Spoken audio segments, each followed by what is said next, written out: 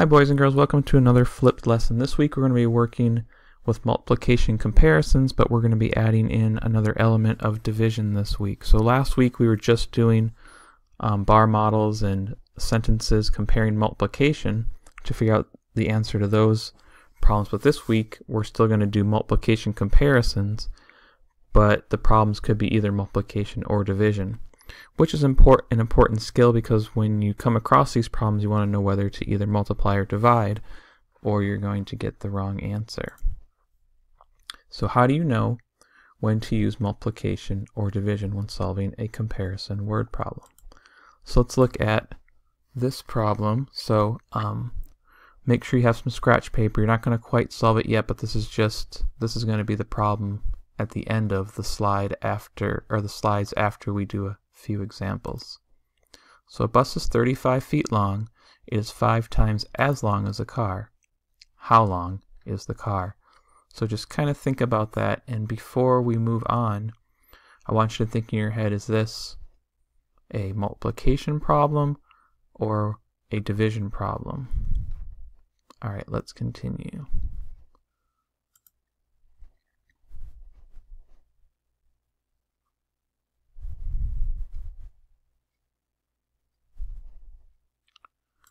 Alright, so in this lesson you will learn how to solve a multiplicative comparison word problem by using multiplication or division.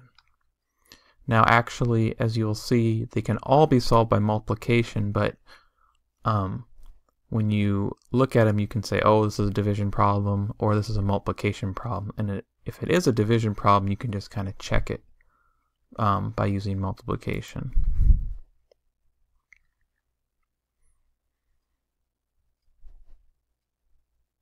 Alright, so here's a review. A blue hat costs $6, a red hat costs three times as much as the blue hat. How much does the red hat cost? So on your piece of scratch paper, I want you to solve this before I show you anything. So pause the video, solve this. You could either use a number sentence, you can use a bar model, and then just hit play once you've solved it.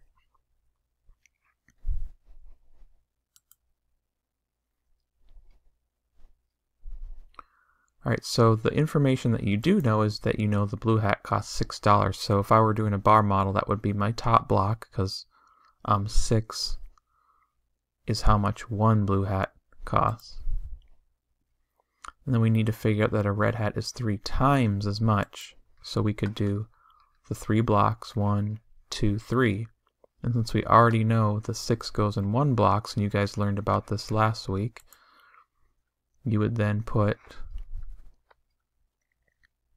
a 6 in each one of those blocks. Then you could either, you know, add 6 plus 6 plus 6, or if you already know 3 times 6, um, you would know the answer, which would be $18. So 6 times 3 equals $18. So that one was a multiplication problem. And now we're going to be looking at seeing if these ones are either a multiplication or a division problem.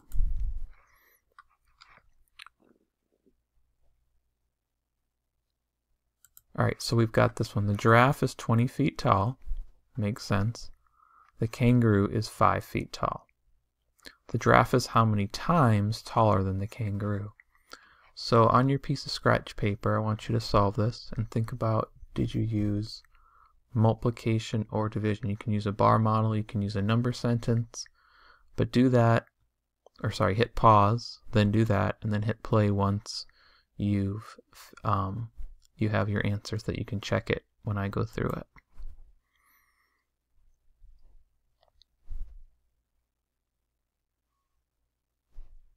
Alright, so we know a kangaroo is 5 feet tall.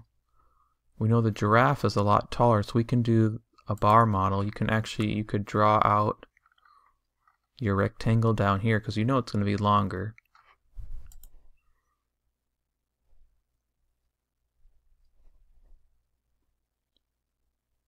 And then if you look at it, this is actually a division problem. I mean, you can solve it with multiplication, which I'll show you in a second, but it's a division problem because we already have our total we have our 20 feet, and we know the kangaroo is 5 feet tall, but how many times taller than the kangaroo? So if I multiplied these two numbers, if I did 20 times 5, I would get 100. So that makes no sense that the kangaroo that the giraffe is a hundred times taller than the can than the kangaroo because 20 is not 100 times more than 5.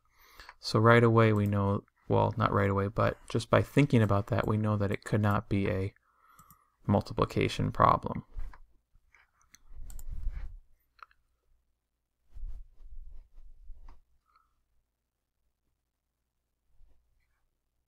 And so if we look at it, we've got one, two, three, four. Four would fit in 20 divided by 5 equals 4. So we would fit 4 in here. So you don't really need the bar model as much for a division, but this is just a good visual that 20 divided by 5 would equal 4. And that makes a lot more sense that the giraffe is 4 times taller, not 100 times taller, because 5 times 4 equals 20. And then again right here, 5 times 4 would equals 20, so it's 4 times as tall. Alright, let's look at another example. Let me get rid of this.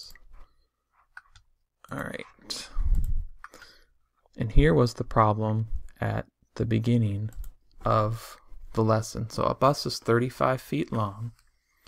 The bus is five times as long as the car, or a car how long is a car? So think about the two examples we did. One was a multiplication, one was a division. And think about, would you want to do 35 divided by 5 to get it? Or 35 times 5? So you really have to think about, and you can, well, you can do a bar model, you can do a number sentence. And then whatever answer you get, think about, does that make sense for the problem? So pause the video, solve it, and then I will show you how to solve it. All right, so we already know, we are sorry, we don't know what the car's um, length is, but we do know the bus. So we know if the bus is 35 feet long, it's obviously longer than a car.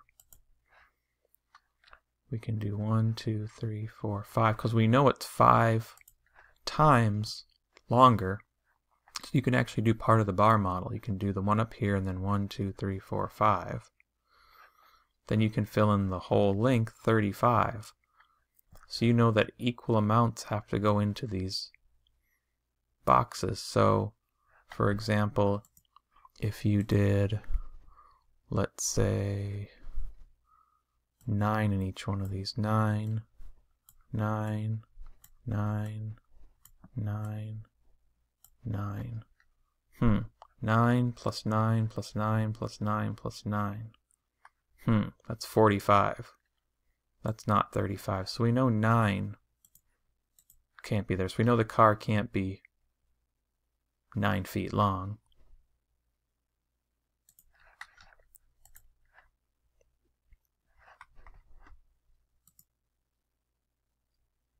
So if we think 5 times what gets us to 35, you can think of it that way. Oh, so then you think 7, because 5 times 7 equals 35. So you could do it that way. So you could do it as a multiplication problem, or this is actually um, a division problem, but we can use multiplication to solve it, because remember we already have our total. We have the 35 feet. So if we divide it by 5, so even though you see this word times, it's still a division problem because we have our total and we're dividing it into these 5 groups. And again, if we times these numbers, 35 times 5, uh, that wouldn't make sense. That would be way too big. Because if we did that, if we did 35 times 5, we would get 175. And that wouldn't make sense that the car is 175 feet because we know that a car is shorter than a bus, and if the car were 175 feet long, that would be a lot longer than a bus. So you can always kind of, if you try multiplication and you do division, you can usually tell which answer makes uh, makes more sense. Now again, you can use multiplication to solve it, but this is a division problem because you're doing 35 divided by 5 will get you to 7 feet, and that makes a lot more sense that a car is 7 feet long.